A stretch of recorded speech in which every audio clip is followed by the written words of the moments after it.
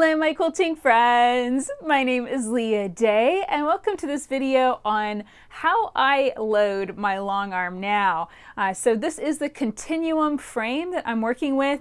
I have added some extra things to it and I have been getting a lot of questions about how I load and how I've specifically attached my leader cloth too.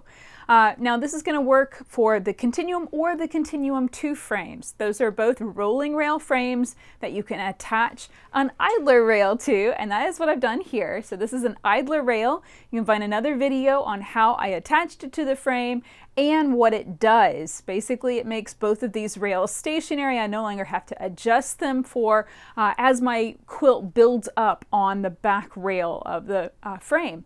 And I love that. I hate having to mess with my frame. I hate having to stop quilting and go do something. So I love having the idler rail here. But it has changed things just a little bit with my leader cloth. Another thing that I use is red snappers. They are uh, long arm backing clamps that allow me to clip the back backing to the frame so that I don't have to pin anymore. And that has also changed things a little bit because of course red snappers can be just a little bit bulky. And I also like to use these quilt clips here on this front rail. And those two things, the snappers and the quilt clips, they don't like each other all that much. So in this video, I'm going to explain all of this and share with you how I load. So the very first thing is this top back rail is where you attach your leader cloth. And as you can see, I have attached the medium length leader cloth to this rail. I need the medium length simply because I found uh, the shorter length wasn't quite long enough. Whenever I want to start a quilt and have the red snappers uh, attached and inside of that rail, the shortest length that I used to have on this rail wasn't long enough. And I kept, I have, I had some issues with that. So I found the medium length worked best and I put that on my back rail. Now I have attached this and as you can see, when you pull that leader cloth over, that's wrong side up. You know, I'm not able to see those lines. Well, I have red snappers attached, so I don't need those lines anymore. You may have a different situation if you are not using red snappers. So if you have a different situation, play with it. Uh, you'll be pinning, so you need to make sure that you can see that dotted line and that you can have that line and your backing fabric the correct way up and be able to pin. That's all that matters. It doesn't matter how somebody else does it or how I do it. What matters is if it works for you. You can see that line and you can pin on it. Now I will say I mostly uh, uh, load my frame now from the back. So when I'm loading that rail and I've already gone ahead and done it, I've already clamped to that, I usually stand at the back because this is quite a long stretch for me. I have long arms, but not that long, right? So I stand at the back and do that clamping action in order to get that backing fabric attached. And then I come around to the front side of the frame and you can see how I have already clamped to the front. But I am not actually using any leader cloth on this top front rail. Okay, so here on the bottom front rail, I have attached the longest piece of leader cloth. I'm not going to unroll it because it's not necessary for me to unroll it. Just take my word for it. so this is the longest leader cloth on this bottom front rail. I have a, taken off the leader cloth completely and removed the Velcro from this top front rail. And it's still a little sticky. I need to get some Goo Gone going here and get all of that gunk off. But basically, I use this rail to float. I no longer use this as a leader cloth rail at all. And the reason is the combination of the red snappers and my quilt clips when I'm floating a quilt, they just didn't work together. The red snapper, you can see how it is. It's um, kind of bulky in this gusset. That's the clampy part of it. And whenever that, and you know, I have my whole bar across it, it just wouldn't work. The Even with the, our bigger quilt clips, we have a two inch quilt clip that is pink it wouldn't work well and I didn't like it. I didn't it didn't feel right and it felt like the red snappers were getting a little tweaked in there and I didn't like that combination. So I personally found taking the leader cloth off of this rail completely, I haven't missed it, and using the longest on that bottom front rail works great. So whenever I'm going to load, I just put the backing on and I always load with the red snappers like this, I grab, you know, depending on the length of the quilt, I'll grab either three or five. And I just get my little clamps in and I bring that leader cloth up and I clamp that, I lock that rail so that it's, I can just bring that leader cloth up to the surface and then I can work on my quilt. And then I grab my nice long red snappers and I clamp all the way down. So that is how I'm doing it now. And I find that this works great. And because this is the longest leader cloth on this rail, as I'm working into the middle of the, like, let's say right on the edge of the quilt, this leader cloth has the length to stretch into the frame where I can then reach those areas. So the biggest thing with this, and, and really I get a lot of emails from quilters that are very confused and very worried about doing it the right way. It's not about right and wrong. This is, you know, this is like any quilting technique, right? You have to figure out what works for you, what works best. And you only are going to do that by trial and error, experimenting, seeing what you like, and then going from there. And, you know, that led me to taking off a whole row of leader cloth off my frame. I didn't need it. It was in my way, so it needed to go. And that's just fine. So I'm going to get this finished clamped. I'm going to go on ahead and roll it up on my frame. I'll load my quilt, and then I'm going to show you how I use the quilt clips too. So here we go. This is what it looks like once I get my quilt installed. And I just use the baste stitch to baste down my batting and my quilt top. And I use the channel lock that's on the machine that locks it uh, into the position so that it can only roll side to side. It can't roll forward and back. And so that's how I make a nice straight line and secure first the batting and then the quilt top. So I have that top edge secured. Now uh, on this quilt, I, I was trying to use a piece of backing fabric that I already had prepared and it's a little tight. I normally like a good five to six inches on both sides in case I run into tension issues while I'm quilting the quilt and I need to roll to one side in order to test my stitches. So this is one situation where I'm kind of breaking my own rule, but that's only because this backing fabric kind of perfectly fit this quilt and I really like the color to go with it.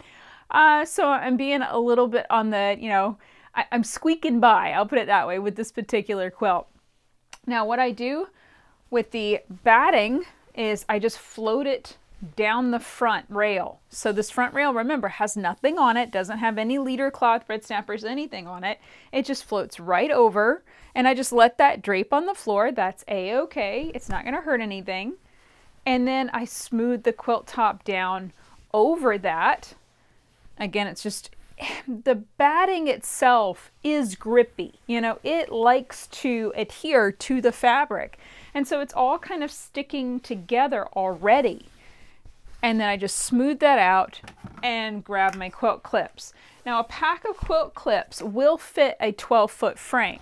So you get four in the pack and I just squeeze these on. They just slide right on. I just press, and then if you want a little bit more tension, you can kind of roll them forward, and the edge of that quilt clip will put more tension on that quilt top. And this is what you're wanting. You're wanting a bouncy surface. You do not want this to be super, super squeezed down tight. This is a problem that I see oftentimes with the hoop frames is trying to squeeze it down so tight that the quilt has no bounce, it has no play, it has no ability to move, and that can cause some broken needles. So you want it bouncy, bouncy tight, you know, kind of like a trampoline, and that way it, it has uh, the ability to move and shift and not so much tension that it causes an issue with your machine. Okay, so one other thing that uh, I like to do is uh, I like to leave my ruler base in place. My needle is down here, so I can't move my long arm and show it to you, but my ruler base is always on my long arm pretty much. And that has a little bit of an issue with these side clamps. And I do use these side clamps now pretty much all the time. I do find that it does help to stretch side to side and it stops issues whenever I'm rolling the machine and, and stitching across the quilt from pulling inward. So I just clip this in place but I find that my ruler base likes to hit that. So I just grab these half inch dowel rods and I cut these really long. When I have my smaller long arm on this frame, I didn't have to cut them this long, but this is I would say this is at least 24 to 30 inches long. And what I do is I just slot this underneath. So first I take the bungees and I connect them to the side of the quilt and they're kind of taut.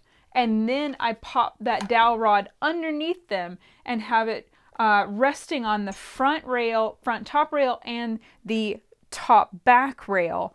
And that pops it up and that keeps those bungee cord ends, these little clampy things, from impacting and, and hitting my ruler base and stopping the long arm from rolling. And you might be able to see this just a little bit better. Here you can see the clamps attached and I just take that dowel rod, slot it through, and it just lifts them up nicely and evenly too.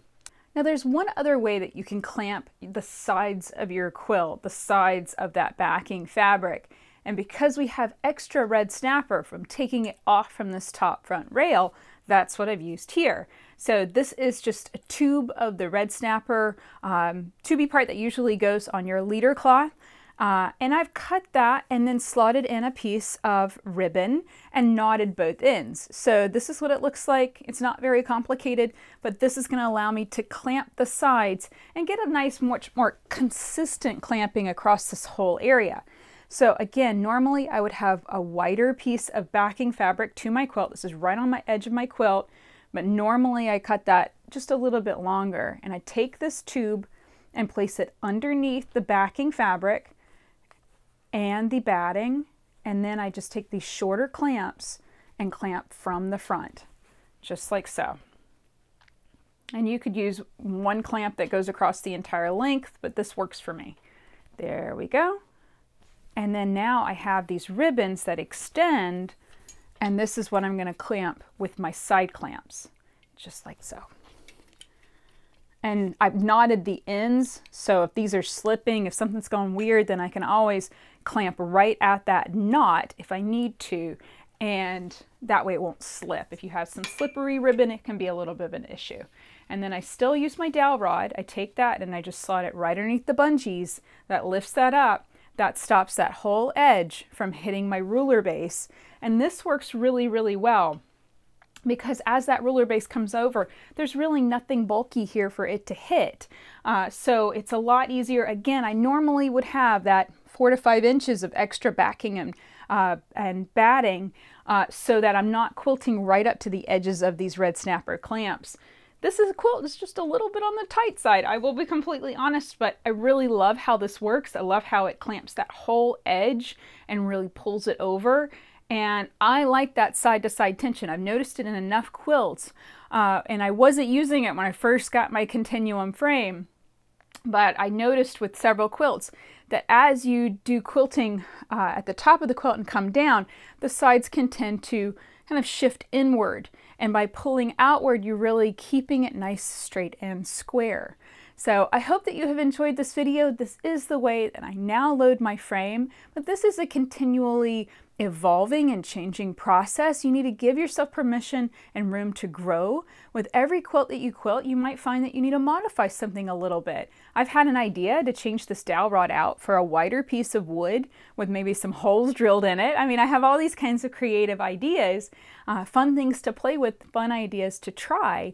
And the only limit is your imagination, right? So have fun quilting mini mini quilts on your Continuum, Continuum 2 or Rolling Rail frame. I hope you enjoyed this video. Come and check out more at leahday.com slash frame. Until next time, let's go quilt!